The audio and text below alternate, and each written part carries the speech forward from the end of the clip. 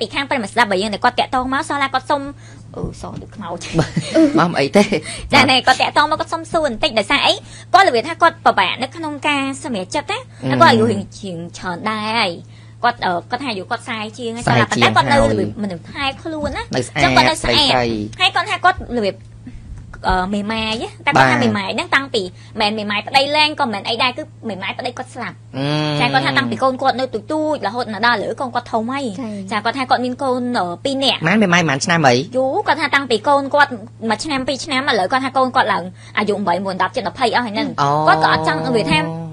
មិនថាអត់មានអ្នកយកគាត់ទេគឺមានប៉ុន្តែគាត់ចង់ចិញ្ចឹមកូនឲ្យវាធំសិនអញ្ចឹងណាបាទបាទចាហើយគាត់ថាគាត់ប្រឹងរកស៊ីព្រោះពេលដែលប្តីគាត់ស្លាប់ទៅគឺបន្ទុកទាំងអស់នៅលើគាត់គាត់ម្ដាយហងឪពុកហងអញ្ចឹងណាហ្នឹងហើយចាហើយគាត់ថាគាត់ចិញ្ចឹមកូនកូនរបស់គាត់មួយមួយគឺរបៀបថាសិតតែគុណភាពហ្មងល្អល្អការរៀនសូត្រក៏គ្រាន់បើដែរហើយការរស់នៅអីហ្នឹងគឺរបៀបវាដូចគេដូចឯងណាមិនមិនចាប់យើងណាព្រោះការពេលដែលគាត់នៅប្តីគាត់នៅរស់ហ្នឹង ប្តីគាត់អ្នករ៉ាប់រងមិនទុកគ្រួសារអីចឹងទៅបាទតែដល់ពេលប្តីគាត់ស្លាប់គាត់ចាប់ផ្ដើមចេញមករកស៊ីអាលបដែលប្តីទៅសល់ទុកឲ្យហ្នឹងណាសាឡាតែគាត់ថាមកដល់ឥឡូវហ្នឹងវាយូរឆ្នាំដែរដែលគាត់អត់មានណាគេព្រោះគាត់គិតថាពេលហ្នឹងកូនគាត់នៅទូចពេកគាត់ក៏មិនចង់ឲ្យកូនគាត់មានអារម្មណ៍ថាវាមានសម្ពាធឪពុកខ្លួនឯងស្លាប់ត្រូវតែហែអ្នកផ្សេងថាប៉ាអីអញ្ចឹងណាអឺឥឡូវហ្នឹងគាត់ថាអឺវាយូរដែរហើយអូនហើយបងក៏មានមនុស្សម្នាក់ទៀតដែលគេតាមស្រឡាញ់គាត់ដែរហើយគាត់ថាអ្នកតាមស្រឡាញ់គាត់តែមិនមែនមួយឆ្នាំពីរឆ្នាំទេណាសាឡាយូរយូរបាទយូរជាងអូ10ឆ្នាំជាងហើយហើយ គេក៏របៀបក៏ដឹងដែរហើយគាត់ក៏ប្រាប់ដែរថាអឺគាត់អត់ចង់ទាន់បានអត់ទាន់ចង់យកណាគេទេព្រោះដោយសារអីគាត់គិតពីកូនគាត់សំខាន់ជាងក្តីសុខគាត់គេកន្លោះចាស់អូកំឡោះតែចាតាមគាត់ចឹងមានគាត់មានគេមានកូនដែរអត់មានទេអត់គេមាអនត់ដែរទេធ្វើការទេរបៀបថាគេរបៀបនៅម្នាក់ឯងណាបាទបាទចាហ្នឹងកហើយន្លោះចាស់នឹងឯងយិនសិនហើយគាត់ថាឥឡូវហ្នឹងគាត់ក៏រៀងមានចិត្តទៅឲ្យគេដែរព្រោះដោយសារគេវាថាគាត់ថាមើលឃើញអាភាពតស៊ូរបស់គេដែរព្រោះគេមិនមែនមករបៀបគ្រាន់តែមកដើម្បីមួយឆាវមួយឆាវណា ព្រោះគាត់ថាក្នុងនោះវាមិនមែនតែបងមកប្រុសម្នាក់ដែលថាតាមគាត់យូរឆ្នាំហ្នឹងហើយក៏មានអ្នកផ្សេងអ្នកផ្សេងទៀតដែរតែមករបៀបមកឲ្យទៅវិញតែក៏ទៅវិញអីចឹងណាអឺហើយដល់ពេលឥឡូវហ្នឹងគាត់ក៏មានអារម្មណ៍ថាអឺវាអត់ធ្មត់ក៏មើលទៅឃើញទឹកចិត្តគេដែរគេរបៀបថាគេប្រឹងប្រែងតាដើម្បីមគាត់គាត់ស្រឡាញ់គាត់អីចឹងណាចាហើយមើលទៅកូនកូនរបស់គាត់គេលួចសួរថាចុះកូនម៉ែឯងមិនទៅគាត់ហាងអឺធំបងប្រុសហ្នឹងធំគាត់របៀបថាគាត់ស្រឡាញ់កូនគាត់ដែរហ្នឹងស្រឡាញ់ហ្មង ជួយទំនុកបំរុងអីផ្សេងផ្សេងៗដែរទោះបីមិនមិនមិនពេញដៃពេញជើងតែយ៉ាងហោចណាស់ក៏ជួយបានពេលដែលគាត់ត្រូវការប៉ឹងពេកអីអញ្ចឹងណាអឺហើយគាត់ថាអឺពួកគាត់ចាប់ផ្ដើមរៀងអឺសាងតំណែងតំណែងមកតែអត់ទាន់បាននិយាយមួយកូនទេបាទពួកគាត់គិតថាមើលទៅកូនគាត់អត់មានបាននិយាយអីទេប៉ុន្តែកាយវិការគឺស្រឡាញ់ចូលចិត្តបងចុះកូនអត់ដឹងទេ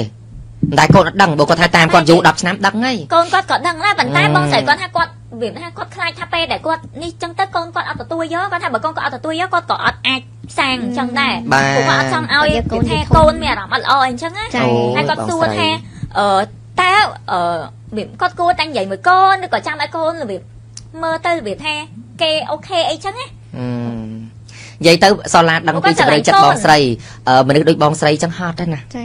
អឺគាត់អឺ គេហៅថាព្យាយាមធ្វើដើម្បីអ្នកដតីសម្រាប់អត់ស្ទើរគិតដល់ខ្លួនឯងមែនចុះគាត់និយាយថារយៈពេលប្រហែបាលនឆ្នាំ10ឆ្នាំជាងដែលប្តីគាត់ស្លាប់ទៅចឹងមិនថាសាលាតាសាមិញមិនកូនម៉ានេះមិញមែនកូនពីរនាក់កូនពីរនាក់ហើយរៀនសិស្សសាលាល្អល្អទៀតរៀនសាលាល្អល្អហើយកូនគាត់ទៅវាថាដោយកលងធัวទៀតព្រោះគាត់អាណិតអត់ចង់ម្ដាយឲ្យវាថាពេលដែលប្តីស្លាប់ទៅព្រោះគាត់ថាពេលប្តីគាត់ស្លាប់ហ្នឹងគាត់ វាថាវាទទួលបន្ទុកម្នាក់ឯងហ្មងហើយគាត់បាទថាមួយខ្លួនឯងថាគាត់ត្រូវតែចិញ្ចឹមកូនគាត់ឲ្យបានល្អបំផុតអូព្រោះយពេលដែលសើនៅមួយហើយប្តីហ្នឹងក៏គាត់ធ្វើបាននិយាយគ្នាប្តីរបស់គាត់ហ្នឹងប្រាប់ថាដឹងចង់ឲ្យកូនហើយយើងមានអនាគតល្អអីអញ្ចឹងណាចាអាណិតណាបងប្អូនណាដល់តែចង់និយាយថាប្រវត្តិបែបអញ្ចឹងអញ្ចឹងណាមនុស្សស្រឡាញ់គ្នាអានឹងវាឈឺចាប់ណាបងប្អូនត្រូវបងអឺគ្រោះថ្នាក់ចរាចរណ៍គ្រោះថ្នាក់អីគាត់តែបងស្រីនិយាយមកមែនប្រិមិត្តបើយើងសាលាយល់ពីជំរឿចិត្តនិងអារម្មណ៍របស់គាត់គេហៅថាគាត់នេះគឺជាប្រភេទមនុស្សដែលគាត់ចង់និយាយថាធ្មត់អត់ធ្មត់ដើម្បីចា៎អ្នកដតីវាមិនខុសអីពីកូនស្រីខ្លះបងប្អូនយើងណាដើម្បីគ្រួសារសុខចិត្តការជាមួយនឹងមនុស្សម្នាក់ដែលខ្លួនឯងអត់ស្រឡាញ់ណាត្រូវបងដើម្បីជួយគ្រួសារមានណាបងប្អូនយើងអញ្ចឹងណាគ្រួសារខ្លះត្រូវតែយល់ពីគាត់ណាមានន័យថាគាត់បានប្រឹងលះបង់លះក្តីសុខលះអីដើម្បីគ្រួសារចា មានអញ្ចឹងដូចបងស្រីអញ្ចឹងសាលាជឿថាមិនមែនកូនអត់ដឹងទេបងព្រោះបងស្រីមនុស្សចេះគិតដល់ថ្នាក់ប៉ុណ្ណឹងហើយសាលាជឿថាការរើសរបស់គាត់អត់ខុសទេចាបាទហើយ10ឆ្នាំហើយគឺគាត់មើលទៅពួកបងស្រីគឺស្ថិតនៅក្នុងក្រុមមនុស្សរឹងមាំហើយហើយយើងដូចតែងតែនិយាយដែរអឺអឺអឺមនុស្សខ្លះមិនមែនថាគាត់អត់ទាន់មានអ្នកណាជួនកាលគាត់នៅស្រឡាញ់ប្តីរបស់គាត់ដោយសារប្តីរបស់គាត់ល្អដូចអឺសាលាតាមដានមើលចេះតែមើលទៅចេះតែអាណិតគាត់អីគេអឺប្រពន្ធរបស់ភីប៉តារាថៃយោបាទកាគាត់ស្លាប់បាត់បង់ជីវិតពេលទៅសម្ដែងរឿងនៅក្នុងព្រៃហើយបន្ទាប់មកពិនិត្យអត់ដឹងក្រុមឈាមណា អូយបងប្អូនណាស្លាប់តាំងពីការកូនគាត់នៅតូចពេលនោះដូចខ្ទង់2016បាទហើយកូននៅតូចប្រហែលជាអាយុ2ឆ្នាំ3ឆ្នាំរត់លេងត្រេត្រេនៅពេលឥឡូវកូនធំហើយហើយមែនគាត់និយាយថាប្តីបើគាត់ផ្ដាំថាឯងជួយមើលថែទាំកូនឲ្យល្អកូនគាត់មលិះហ្នឹងឥឡូវមែនបងប្អូនអើយនិយាយទីគាត់ចិញ្ចឹមដោយគុណភាពហ្មងហើយបងស្រីហ្នឹងសាលាមើលទៅនិយាយមែនតើមែនអត់យកនៅស្រឡាញ់ប្តីនៅស្រឡាញ់គ្រប់ ផុសឆែកមើលរូបគាត់ផុសក្នុង IG ថែកតែឈ្មោះប្តីហ្នឹងហ្នឹងហើយថែឈ្មោះប្តីរហូតប្តីគាត់ហើយរបៀបអឺសាលាឃើញរូបមួយសំណោះពេលដែលកូនធំថានេះបងអូនជើកូនស្រីមកជួបបងឥឡូវកូនយើងធំវាស្មាតទៅបងអូននេះអាប្រវត្តិចឹងចឹងយើងមើលទៅឈឺចាប់ហ្នឹងអាឡូមិនទៅបងចាអញ្ចឹងសាវាលាវាវាអត់អាចជួបវិញណាប្រវត្តិអញ្ចឹងឲ្យឈឺចាប់ឲ្យបើសិនជាមនុស្សស្រីដែលស្មោះឲ្យស្រឡាញ់បាទប្តីអាអារម្មណ៍ហ្នឹងគឺដិតដាមមែនតើមិនហើយយូរណាស្លាប់តាំងពី2016តាំងកូនមកដល់ឥឡូវកូនឯងដល់ឥឡូវកូនគាត់ធំហើយកូនគាត់ឡើងធំប៉ុណ្ណាហើយគាត់អត់តន់យកឯណាហើយ មិនមែនអីគាត់សំដែងនៅក្នុង IG គឺមានន័យថាគាត់អត់តន់ទទួលបរោះណាហ្មងអត់បើថែកតាប្តីនិយាយតែពីប្តីផុសតែរូបប្តីហើយហើយឲ្យតែផុសរូបកូនប្តីដាក់ប្តីឲ្យអឺប្តីប្រៀនតាកូនរបៀបថាប្រាប់ឪពុកថាជា hero ជាអីដែលបានស្លាប់ទៅអានឹងគឺប្រវត្តិបែបលក្ខណៈឲ្យវាឈឺចាប់ហ៎បងប្អូនព្រោះពេលហ្នឹងគ្រុនឈាមហ្មងប៉និតអត់ដឹងប៉និតដឹងថាគ្រុនឈាមទ្រាំតែដឹងបែកគ្រាប់ឈាមបាត់បែកគ្រាប់ហើយស្លាប់បងប្អូនគាត់គាត់អត់ហ្នឹងហើយឆ្លាល្បីគាត់ថតរឿងនៅក្នុងព្រៃហ៎យើងនៅទូចបាទបាទហ្នឹងហើយតោះឥឡូវសូមប្រិមិត្តបើយើងចូលរួមមកបន្តិចសិនបងស្រីជម្រាបសួរបងចាតែគួរសាលាបងចូលរួមបងស្រីតិច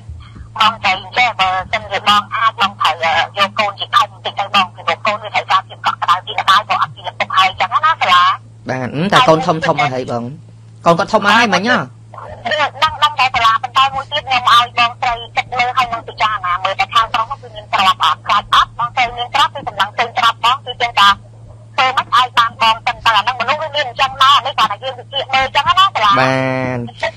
ហ្នឹងហើយអូខេអត់ទេបើបើសម្រាប់សាលាអត់នេះទេអត់បន្ទោសគាត់ទេអត់ចំតោះទេទេសុំនេះជាមួយបងស្រីចង់និយាយចេះពួកគាត់ដល់ថ្នាក់មេម៉ាយយូរឆ្នាំហើយហ្នឹងហើយយើងចង់និយាយថាពេលខ្លះដាក់បន្ទុកឲ្យគាត់ពេកថឹងគិតដល់កូនអីគាត់មិនមែនគិតអីណាកូនឡើងរៀនចប់អស់ហើយហ្នឹងហើយបានគាត់ចាប់ផ្ដើមគិតដល់ខ្លួនឯងអាក្តីស្រឡាញ់ហ៎បងប្អូនអូយមនុស្សដំណាក់កាលប៉កែប៉កែចឹងចឹងហើយហ៎បងប្អូនណាគេកាត់លឿនលឿនណាចាហើយគេក៏ចេះដែរមិនមែនថាគេទៅ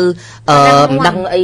សោះហ្មងទេក៏ពិតកូនគួរតែយល់ដល់ចិត្តគាត់វិញបើសិនជាសាលាជាកូនវិញណាមានតែនិយាយជាម្ដាយអូយគេអូខេតែកូនពេលខ្លះគេមិនរវល់ហ្នឹងហើយគាត់មិនគិតដល់កូនមិនបងបងបើកូនឡើងរៀនចប់អស់ឡើងពីដើមធំប្រប៉ុណ្ណាណីហើយក្តីស្រឡាញ់វាអត់ដូចគ្នាទេបងប្អូនរវាងមនុស្សដែលយើងស្រឡាញ់រវាងបងប្អូនរវាងអីបើសិនជាគេមានក្តីសុខចាំឲ្យដូចសាលានិយាយថាចេះជួនកាលសមាជិកគ្រួសារខ្លះគ្នាបានលះបង់ដើម្បីគ្រួសារច្រើនណាស់បងប្អូនប្រឹងធ្វើការ បងប្អូនអីទាំងអស់សួរថាមានអ្នកណាដែលមើលឃើញគាត់អត់ជួនកាលដែលមានអញ្ចឹងគាត់ក៏ត្រូវមានការមានក្តីសុខដែរហើយយើងមិនមែនទៅប្រឆាំងគេអឺដាច់ខាតហ្មងទេបើថាគាត់មានអញ្ចឹងគាត់តែយើងប្រាប់គាត់ថាអឺពួកមនុស្សយើងវាមិនមែនប្រកាសថាយើងមើលត្រូវទាំងអស់ណាបងប្អូនទោះបីជាមានជំនាញប័ណ្ណពិសោធន៍អីមិនក៏ដោយហើយដល់ថ្នាក់គាត់លំដាប់ប៉ប៉ុណ្ណប៉ុណ្ណឹងហើយគាត់មិនទៅមើលខុសទេបើនិយាយថាអើយគាត់គិតដល់កូនផងសាលាមិនគ្រប់ត្រទេបងព្រោះគាត់គិតឡើងកូនធំឡើងប៉ប៉ុណ្ណប៉ុណ្ណានៃក្តីសុខក៏បងប្អូនបើយើងជួនកាលគាត់លះបង់ឪពុកម្ដាយខ្លះលះបង់ហ្នឹងណាមើលយើងគិតមើលមេម៉ាយមិនតិចឆ្នាំទេណារស់នៅជាស្ត្រីមេម៉ាយបងប្អូនទីនេះចាំកូនឡើងរៀនចប់ដល់សកលដល់អីអស់លីងអាលាត់អឺឡើងប៉ប៉ុណ្ណាប៉ប៉ុណ្ណៃហើយហ្នឹងហ្នឹងហើយរៀនសិទ្ធសាលាល្អអឺរៀនសិស្សសាលាល្អរៀនសាលាអីចាំមកដូចសាលានិយាយចឹងមនុស្សស្រីខ្លះគាត់លះបង់ដើម្បីគ្រួសារចុះមានច្រើនតើអឺហើយ ចុងក្រោយត្រូវជួនកាលអាចបងប្អូនមើលងាយទៀតចាអឺគ្រួសារគាត់អត់គាត់អីអីចឹងទៅគាត់ជួនកាលរបៀបថាការស្វាមីការប្តីដែលមានដើម្បីថាអឺជួយគ្រួសារជួយអីចឹងទៅចឹងអានេះគឺជាការលះបង់សម្រាប់គាត់មួយដែលគេហៅថាជួយដល់គ្រួសារហើយបើកូនស្រីសាលាឃើញភិកច្រើននិយាយមែនបងប្អូនអាពាក្យមួយគេនិយាយថាទោះបីវាធ្វើសំផឹងក៏វាមិនភ្លេចម៉ែអត់ឪចោលគ្រួសារទេទោះបីជាថាមាត់រឹងឬក៏មិនពេលខ្លះក៏ដោយប៉ុន្តែនៅមានថ្ងៃមួយក៏នៅតែមិនចោលម្ដាយមិនចោលអីបើយើងប្រៀបថារវាងជាមួយ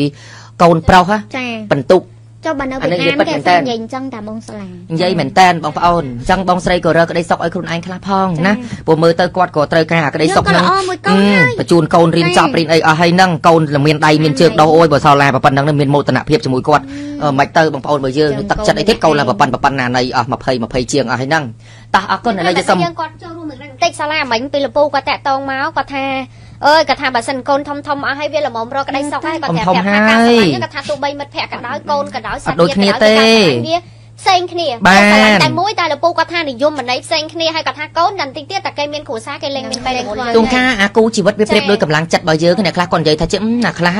ជួនកាលប្រពន្ធចំណាប់ឬក៏ប្តីចំណាប់ដូចថាជាអ្នកខ្លះថាជាមនុស្សស្រីមិនក៏រកស៊ីចិញ្ចឹមប្តីចឹងឧទាហរណ៍តែវាក្តីសុខអានៅមួយក្នុងករណីដែលគាត់ចង់និយាយថាមិនក៏វាជាខ្នងបង្អែកមួយសម្រាប់យើងដែរប្រិមិត្តទៅណាទៅណីគាត់ជួនយើងទៅមានកម្លាំងចិត្តមានបកគោលបង្អែកមួយអានឹងវាជារសជាតិវាជាជីវិតមួយគេហៅថាដែរមនុស្សម្នាក់ម្នាក់វាត្រូវការមានបងប្អូនបើយើងអញ្ចឹងអឺគាត់អឺកម្លាំងចិត្តអាហ្នឹងគឺវាអញ្ចឹងណាបងប្អូនវាបែបហ្នឹងដែលការនៅបនិបណាអឺយើងអ្នកធ្វើការទៅទៅវិញបាយទឹកចក្រានជើងឆ្នាំងគាត់រៀបចំឲ្យយើងហ៎យើងចង់ទៅណា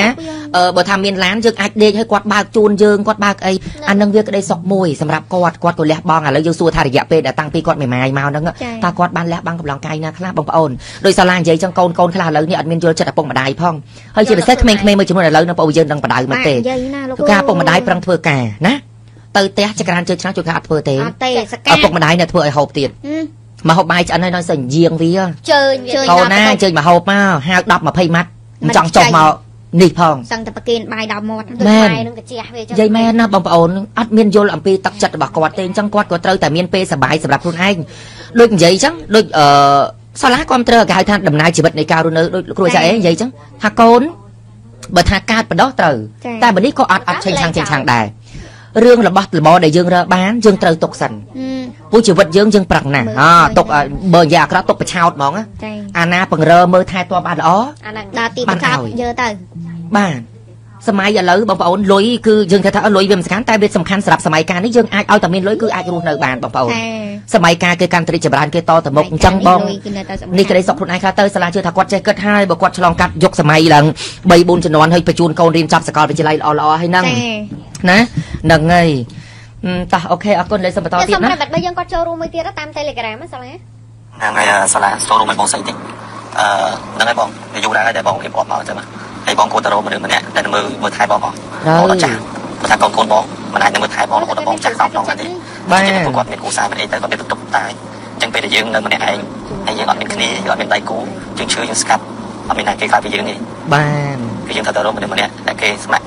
រស់នៅជាមួយយើងព្រមទទួលយកយើងជាយើងហើយបងមើលថែយើងពីអ្នកយើងមានតែយើងពីអ្នកផ្ទៃប្រពន្ធទេតែបាញ់មើលថែគេបានយើងនៅកន្លងហូបទៅទៅវាហូបហើយប៉ុន្តែយើងត្រូវគិតអនាគតខ្លួនឯងដែរគិតពីសេចក្តីសុខខ្លួនឯងដែរកូនយើងចិញ្ចឹមប្រកបបាច់បាច់ថែរក្សាហើយយើងផ្ដំលោកមានប្រកបបានប៉ុណ្ណេះណាគាត់ដាក់ប្រកបទៅប្រកបធំតិចទៀតរៀនខ្លួនគាត់ទៅទទួលគាត់ទៅលើគូសារគាត់ដែរអញ្ចឹងគាត់ប្រកបជាអត់សូវមានពេលទី1អត់សូវមានពេលមួយថែបងទេទី2គឺគាត់រពលហើយជឿខ្ញុំទៅបងគួររកផ្លេសុខខ្លួនឯងទៅអានេះមិនមែនខ្ញុំនិយាយគ្រប់គ្រងបងទេប៉ុន្តែនេះគឺជារឿងពិតណាបងណាអរគុណ ច្រើនគាត់លះបង់ដោយសូឡានិយាយចឹងជួនកាលការលះបង់របស់គាត់បើយើងប្រៀបធៀបទៅគាត់គឺជាមនុស្សដែលគួរអាណិតកំសត់ដែលសឹងថាអឺរយៈពេលប្រហែលឆ្នាំដែលគាត់គេងមកតែឯងរហូតគាត់មានទុកមានលំបាកបើមានដៃគូជីវិតគាត់អាចនិយាយពិភាក្សាមួយគ្នាបានណាផ្ដល់កម្លាំងចិត្តឲ្យគ្នាទៅវិញទៅមកតែបើគាត់អត់មានចាំន័យថាគាត់បានប្រឹងរឹងមាំជំនះដោយខ្លួនឯងហើយអត់ដែលហ៊ានប្រាប់កូនទៀតអាកន្លែងហ្នឹងដែលយើងត្រូវយល់ដែលត្រូវនេះអំពីក្តីសុខរបស់គាត់ជួនកាលដែលយើងនិយាយចេះអ្នកខ្លះគាត់ទៅប្រឆាំងដៃគូជីវិតដោយរបៀបថាជួនកាលម្នាក់ហ្នឹងឧទាហរណ៍ថាគេអត់ត្រូវគ្នាជាមួយយើងមិនប៉ុន្តែពេលរស់នៅជាមួយដៃគូជីវិតគេគឺចុះសម្រងគ្នាចាចឹងយើងទៅនេះទៅអីបងប្អូនអាហ្នឹងបងប្អូនក៏ដោយយើងបានតែប្រាប់ទៅម្ដងម្ដងថាអឺឲ្យមើលសិនទៅបែបបែបសឹមសឹមសឹមសឹមសិនទៅអីចឹងទៅយើងបានប្រាប់ប៉ុណ្្នឹងតែបើសិនជាយើងថាអូទៅរៀបរៀងដាច់ខាតដាច់អហង្ការចាប់គេចងផ្អោបរៀងខ្លួនហ្មងបាទវាអត់ទេប្រិមិត្តបើយើងណោះហើយបើដល់សេរីគាត់មនុស្សស្រីដែលរស់ស៊ីចំណូលចេញចូលអីចឹងហើយសាលាជឿថាការគិតនិងផ្លូវចិត្តរបស់គាត់នឹងក៏វាអូខេដែរ